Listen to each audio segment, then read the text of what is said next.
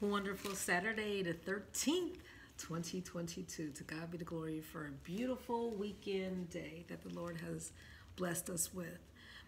I don't know if you have some folks in your life where they might be trying your patience, or maybe you have some children who are going through the stage, or they're not doing what you thought that they should be doing at this particular time. Maybe they spend precious moments, all of their moments on TikTok or or doing something else, wasting time. I don't know. Listen, I was reminded yesterday by a dear brother who I remember from years ago, just a yielded man of God. And he shared a sermon, and I knew that the Lord would speak to him and it was at uh, an annual camp meeting. And this particular focus was for youth. And I, I really honor him listening to the Lord. But I used to say this all the time with working with young people that we should not look at it as I have to. No. Turn it around toward the perspective as a privilege. I get to. Yes. So as I'm preparing to move my classroom upstairs in my school and have a whole new environment, oh, I found this in Edgartown. It was a quaint little neighborhood, uh, part of the segments of how Martha's Vineyard is divided. You have six like towns, uh, Oak Bluff, uh, Edgartown, and oh my goodness, there's so many vineyard. Well, anyway, I found this in a bookstore. The Lord's like, get this. My job is to help other young people to dream. Yeah, and the manufacturer of this, I guess it's called Here and There, right? They start off here at a young age but God has them planned to go to a certain destination. And it's up to us. We don't have to be teachers. We could be parents, we could be neighbors. We just know we are influencers. And the tagline is inspiration for where you are and where you want to be.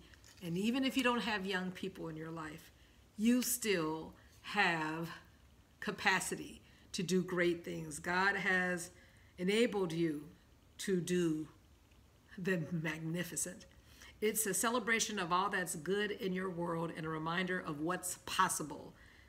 Display it wherever it feels right to you. Yeah. And I said this will be the focus of my classroom. Well, what does this have to do with Micah 6? Because our whole duty is verse 8. And this is very familiar, but I'm going to read it first of all from the Good News Bible.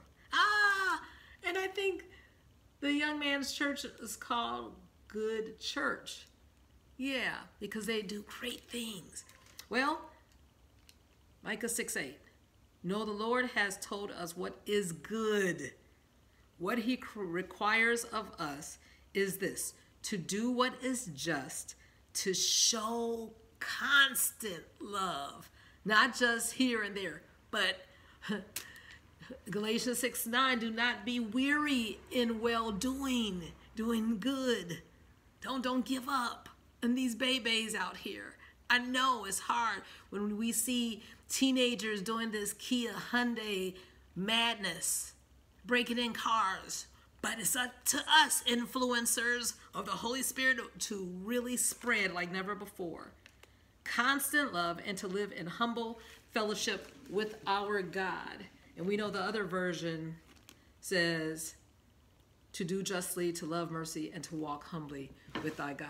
Okay, let's see what the Lord would have us to play.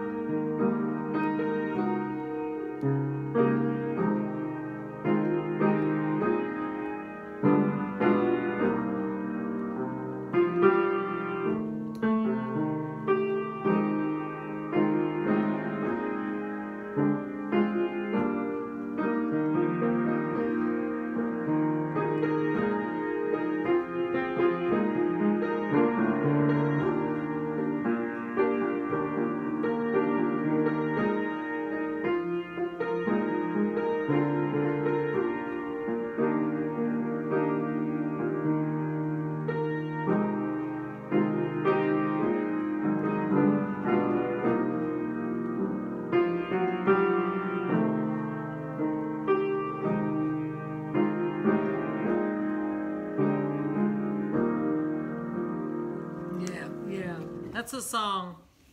Uh, I am what God says I am. I will be what God says I will be. Yeah, I will uh, post the lyrics, but it's very powerful. Do not give up in dreaming. If you don't have one, if you don't have something in your belly, in your heart, ask the Lord to input a new vision of yourself and what He wants you to do.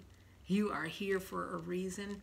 He is not finished with you, and He wants you to do great things for His glory. We would have gone to Psalms 103 today. Bless the Lord, O my soul, and all that is within us. Bless His holy name.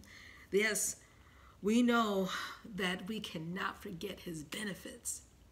We want others to receive Him so that they can live this life that we are existing in. He forgives our iniquities. When we see the babies doing a craziness, you have to go back to Luke 15 about the lost sheep, how the shepherd put the sheep over their neck, and sheep have come have a lot of issues. They get dirty. The wool catches a lot of nastiness. But when we catch one of these teenagers or youth and we are able to save them, Woo, we have to remind them the Lord forgives all iniquities. He'll clean you up. Don't try to clean up yourself. And we have to remember the prodigal son, how he was like, My son was dead. Don't we see a lot of youth with the death in their eyes walking around, doing all this craziness shooting? It's up to us. Yes. Lord, we thank you, Father, for this opportunity to be used for your glory once again as your vessels. Fill us with your dreams and your intentions, and we'll walk it out like never before with intentionality because we get to do your will. In the name of Jesus, with joy. Amen.